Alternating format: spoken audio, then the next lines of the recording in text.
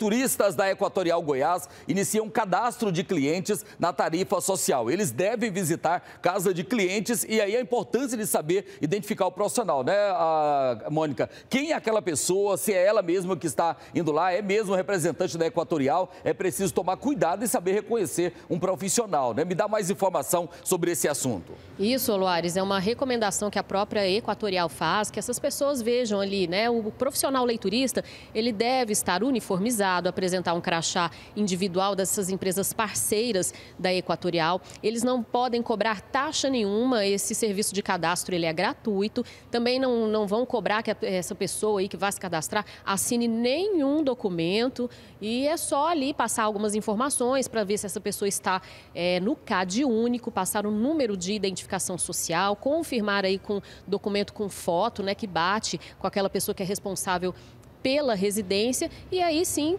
depois ficar cadastrada e conseguir ser beneficiada com desconto que pode chegar a 65% do valor da conta de energia.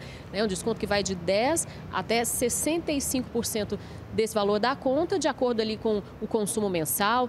Lembrando né, que essas pessoas que vão ser beneficiadas são famílias de baixa renda, que têm aí uma renda per capita de meio salário mínimo né, por pessoa da família, quilombolas, povos indígenas.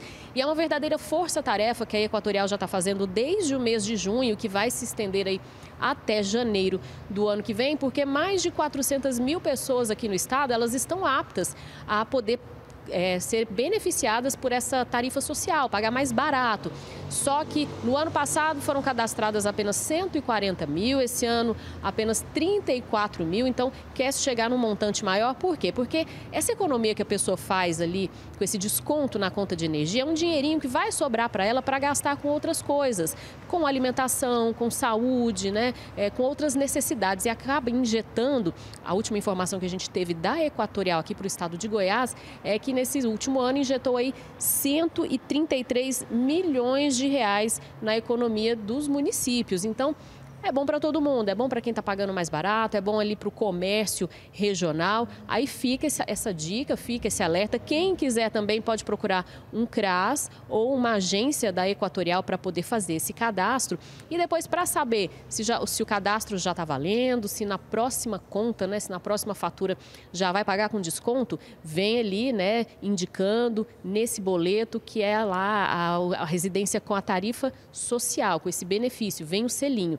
E qualquer dúvida, ligar também nos canais de atendimento da Equatorial, seja ali por telefone, um 0800, ou nas redes sociais e até mesmo no site da Equatorial. E a gente volta a fazer o alerta. Pede ali o crachazinho, observa se a pessoa está com o documento, não tem que pagar nada.